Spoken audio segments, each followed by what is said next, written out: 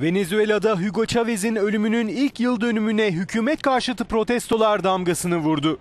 Efsanevi liderin kansere yenik düşerek hayatını kaybetmesinin ardından yerini alan Nicolas Maduro bu süreçte halkta hayal kırıklığı yarattı. Halkın bir kısmı hala eski liderlerinin yasını tutuyor. O benim için, onun için ailemden bile daha fazla ağladım. Annem huzurla yatsın, vefat ettiğinde asla ağlamadım. Aslında ilk gün ben de herkes gibi üzgündüm ama ona ağladığım gibi hiç olmadım.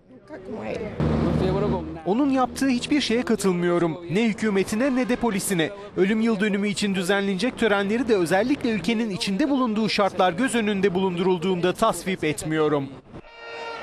Bir yıl önce kansere yenilen Chavez yerini sağ kolu olarak görülen Nicolas Maduro'ya bıraktı.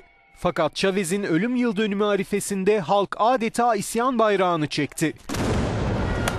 Muhalif liderlerin de desteklediği özellikle öğrenci hareketleri ülkede artan gasp ve yolsuzlukları 3 haftadır protesto ediyor. Gösterilerde polisin sert müdahalesi sonucu şu ana kadar 18 kişi hayatını kaybetti.